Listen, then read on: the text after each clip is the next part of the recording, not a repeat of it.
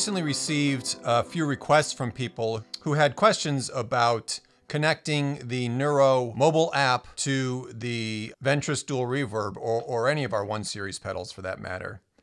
So the Neuro mobile app, um, right here, this is a free download for both iOS and Android devices. And you can find it by searching for Source Audio Neuro in either the App Store or Google Play.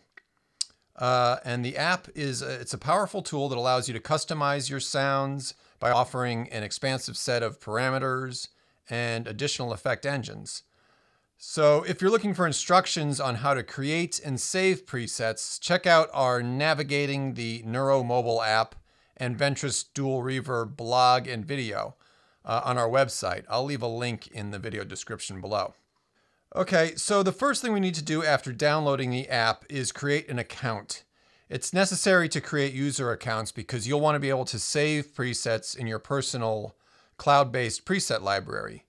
We also require personal accounts so that we can give proper credit to anybody who publishes a preset and makes it available to other 1 Series pedal owners. So here we go.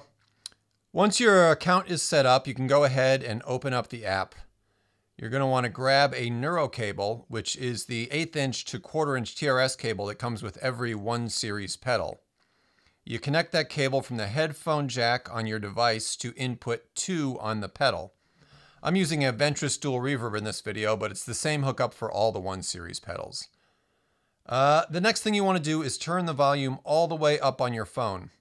In most cases, this is all there is to connecting the app to the pedal. Uh, you'll notice that anytime I make an adjustment here on the app, the control LED at the top of the pedal will blink. The control LED is a very good indicator of whether or not your pedal is properly receiving Neuro messages.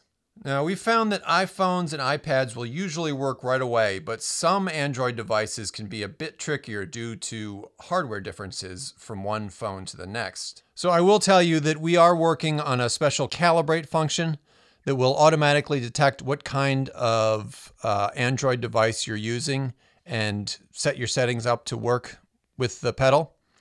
Uh, but for now, we have this list of troubleshooting options that uh, we can go through.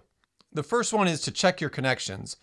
It may sound a little bit silly, but just make sure that the cable is plugged all the way into the phone and the pedal. Uh, a lot of times a phone case can prevent the Neuro cable from plugging all the way into your phone. Number two, volume level. So if you've turned the volume all the way up on your phone and it still doesn't work, try clicking down the volume one click at a time and test for connectivity after each click. We found some Android devices that require the volume to be turned down as much as uh, 40%, uh, particularly in, in Europe where audio regulations are a little different than here in the US. Number three, invert the audio output. On some Android devices, the left and right audio channels are switched around so that right is left and left is right. Uh, we've also found devices that reverse the phase of the headphone audio. Uh, these audio discrepancies can affect how the pedal receives Neuro messages. To uh, fix this, we added some signal inversion switches at the bottom of the page.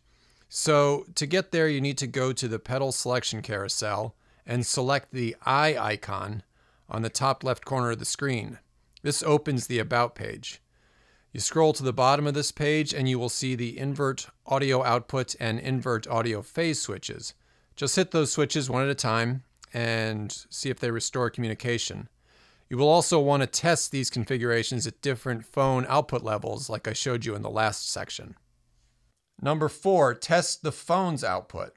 So if you're still having problems, you should test the phone's output. Try unplugging the Neuro cable from the phone and moving something in the sound editor.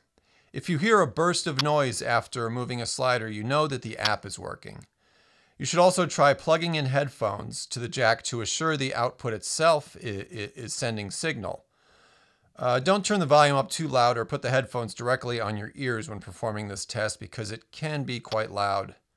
So after you've plugged in the headphones, move one of the sliders and make sure that you do hear a sound burst coming from the right channel of the headphones. Number five, audio filtering. Uh, it's also possible with some Android devices that there is some kind of audio effect or filtering applied to the headphone output. You'll need to go into your device's audio settings and make sure there is nothing like uh, 3Dify, they call it, or bass boost uh, applied to the phone's output. And finally, there's hardware problems. You know, there is always the possibility that there is an actual problem with the neuro cable or the pedal itself.